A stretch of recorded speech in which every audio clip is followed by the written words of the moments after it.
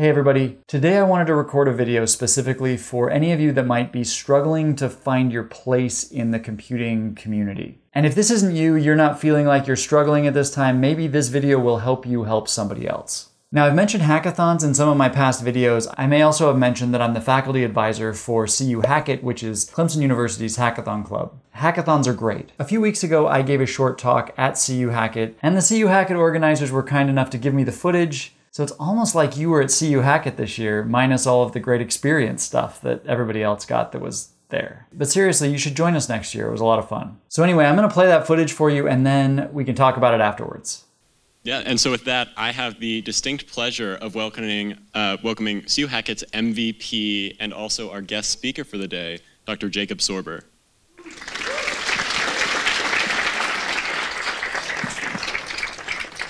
Hey, thanks. It's great to be here. Uh, I'm Dr. Sorber. They put it up there in case I forgot. Um, so, uh, for those of you that don't know me, I teach computer science and engineering here at Clemson, and also uh, when I get the time on YouTube.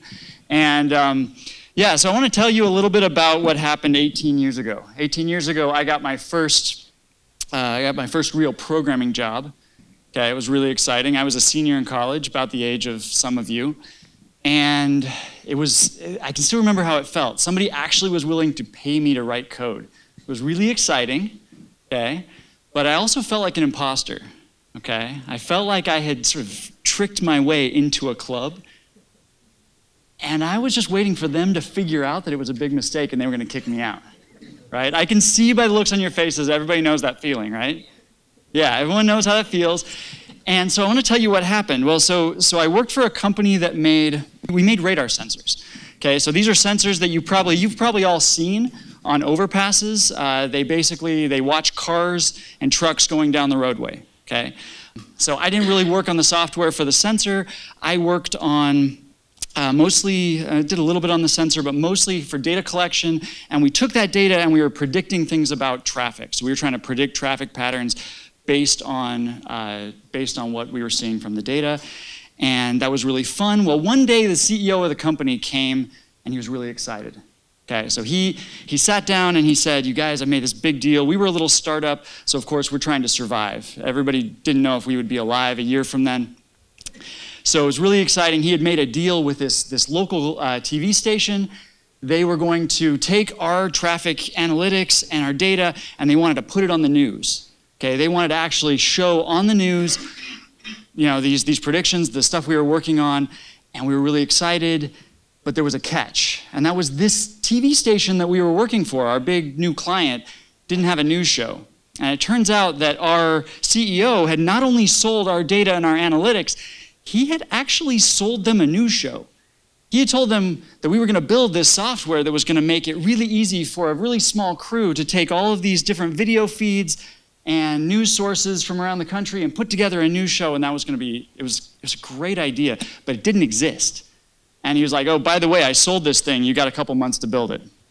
So you can imagine all the developers are looking around the room going what? Who, who's going to build this thing? And uh, yeah so so at that moment uh, while everyone's looking around i did something crazy. See in our in our group we had a bunch of people that were really good at databases and we had a bunch of people that were really good at machine learning and signal processing. We didn't have anybody that had done GUIs. We didn't have anyone that had done desktop applications. And so that's why everyone's looking at each other. And so in all of this, I volunteered.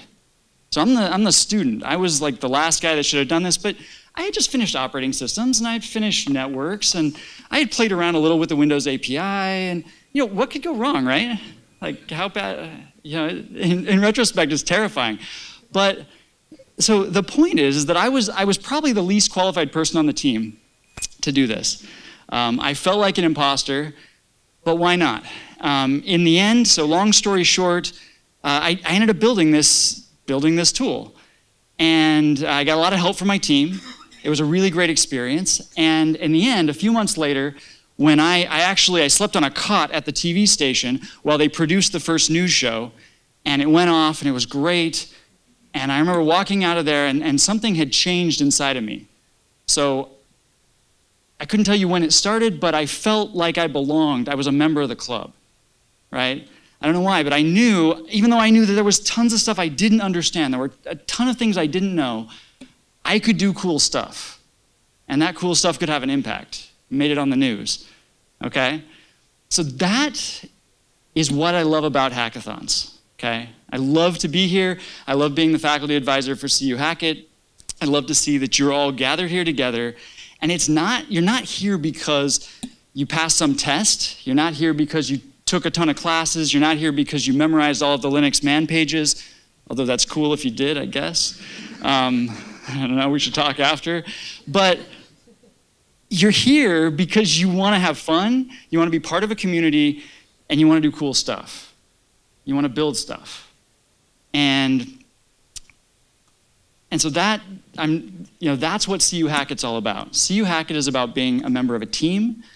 It's about it's about learning. And you know what? A lot of you, some of you are freshmen. Some of you, this is your first hackathon. Some of you, you haven't taken very many classes. There's a lot of things you don't know. You know what? Who cares? You're going to build some cool stuff, right? You're going to have fun. You're going to learn a lot. You're going to work with a team, and you're going to have a great experience. And some of you have more experience. You know more. You may be mentors, or you may just you'll be a mentor either way. If you you know you know stuff that your team doesn't know, you have this opportunity to teach and to grow. CUhackit is about being a member of a community. It's about being a member of a team. It's about learning. It's about growing, and of course, racing the clock to build some cool stuff. Okay? So, welcome to Clemson University. I hope you learn a lot. I hope you have a great experience. I hope, I hope you teach a lot. But most of all, I hope when you leave here, I hope you feel like you're a member of a community. And I hope you realize that you have the ability right now to make an impact, to do cool stuff, and to change this world. So, welcome. I'm excited to come here in 24 hours and see what you've all accomplished. And good luck and happy hacking.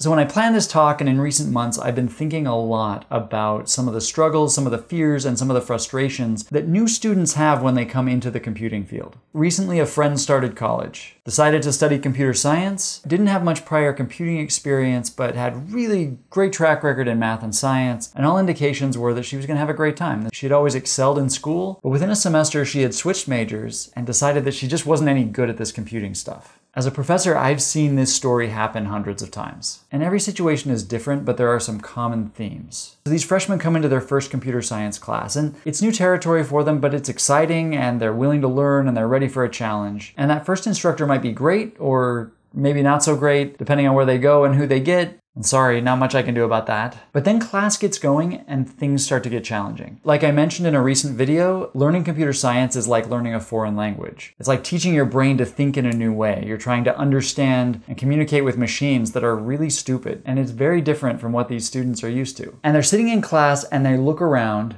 and they see a bunch of students that tinkered with this stuff in high school and they just seem to be light years ahead. They seem to have this uncanny ability to understand how the machine works. Programming seems effortless, and some of them can be really obnoxious about it, and they're just out there just trying to let everybody know just how much they know and just how awesome they are. And my freshman friends are sitting there and they're thinking. And I think I mentioned this, but they're used to excelling in their classes. They're used to being at the top of the class, and this feels different and not the good kind of different. And maybe they start to wonder if they're just maybe not cut out for this new adventure that they started on. And sadly, in this situation, a lot of students opt to take a different path. If you or somebody you know is in this situation, let me share a few thoughts. First, in my life, I've never met anyone who was born a great computer programmer. I've known a lot of people who worked at it and became great at it. And after teaching students for a while now, I believe that anyone who's willing to work at it can become great at it. And that means you.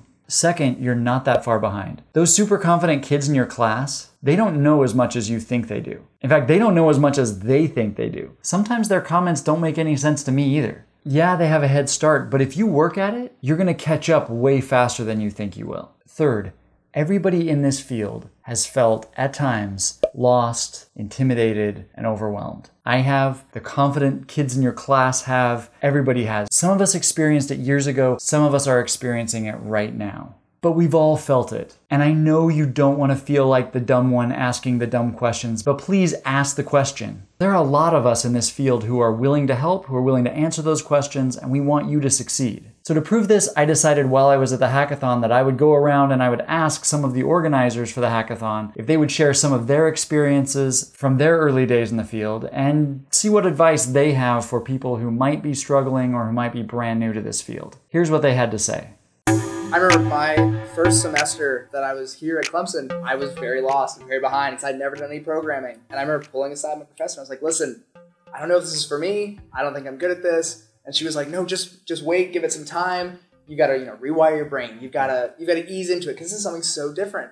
And I remember, you know, going through the semester, I did okay. I passed. And that summer, I went and did an internship that I got offered. And just the ability to be one on one with somebody who actually has been in programming for so long, has been programming since before I was born, just gave me the opportunity to, to learn and something clicked. When I was first getting started in computer science, especially as like a woman in computer science, like my first class, there were two girls, and I just think the thing that helped me the most was befriending people was finding uh, peers who weren't necessarily acting like they were too good to talk to me, but finding real people who were also struggling and wanted to learn to be better together.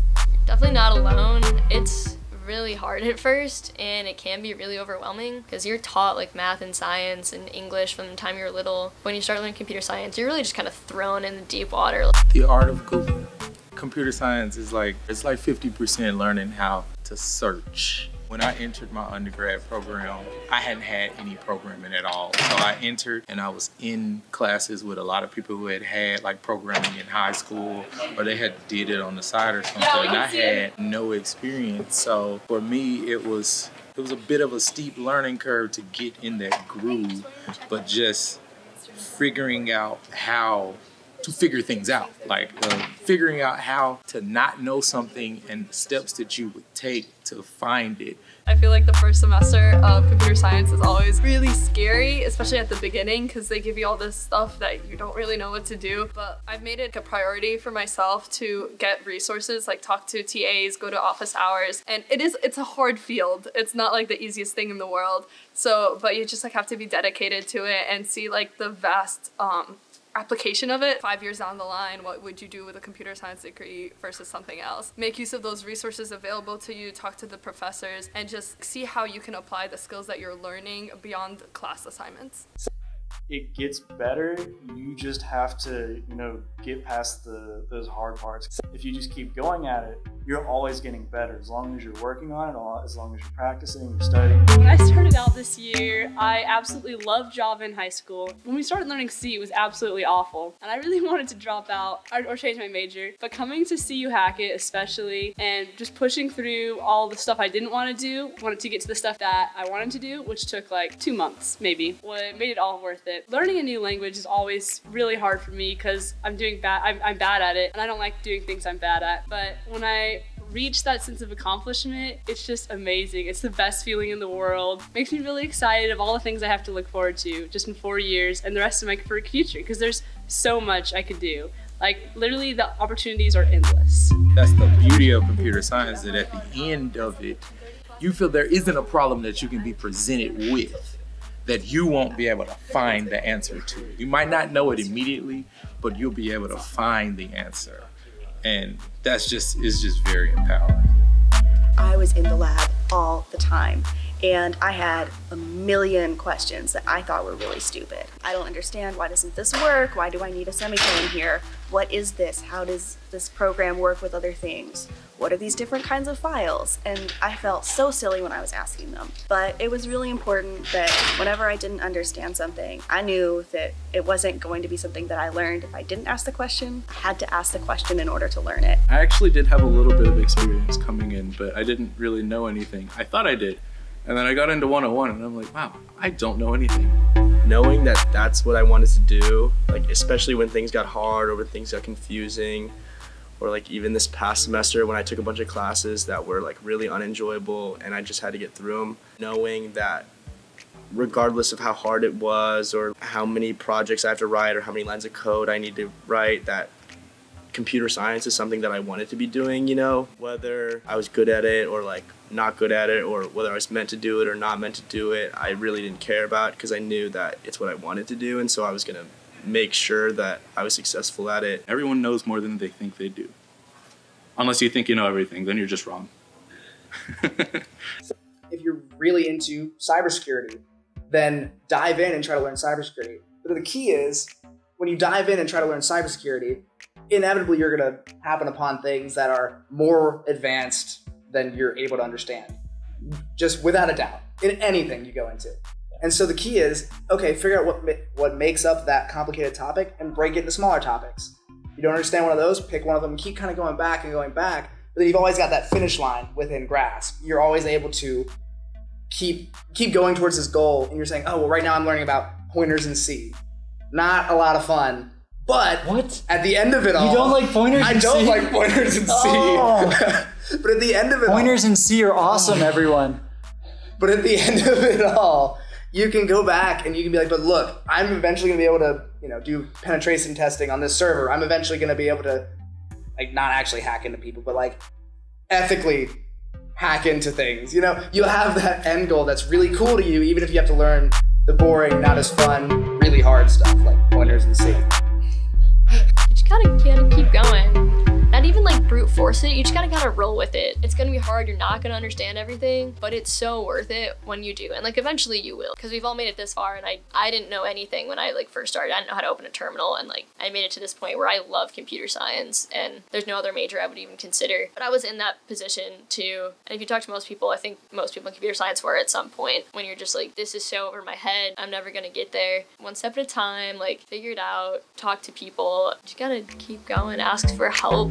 And there you have it. I just love that I get to work with such a great group of students. They're so energized and inspiring. I would have loved to interview all the organizers for CUhackit. I didn't get to all of you. Some of you were too busy running a hackathon. But I want you to all know that it's an honor to work with you and you inspire me. This video has been longer than my typical videos, but this is something I feel really strongly about. And I hope it's useful to a few of you out there who are struggling, who are frustrated, who are trying to find your place in this computing field and not really sure if there is a place for you, because there is. We need you here, we want you here, and I hope you continue to learn and continue to explore and continue to code. This is why I make these videos, is that I know this is a challenging field. It's also a field that I love and I want to share it with you. And so I take topics that I find a lot of students struggling with and I'm trying to make it easier. I'm trying to make the path easier. If there's something else on this channel that I can help you with, please let me know because I want you to all succeed and thrive, and YouTube helps me reach more students than I can reach in just my regular classes. So I hope you keep watching, subscribe to the channel, click the bell so you get notifications when I post new videos, and I'll keep trying to make your journey easier. And if you know somebody who's struggling, who may be frustrated, please send this video along. Maybe it'll do some good. So thanks for watching, and until next time, I'll see you later.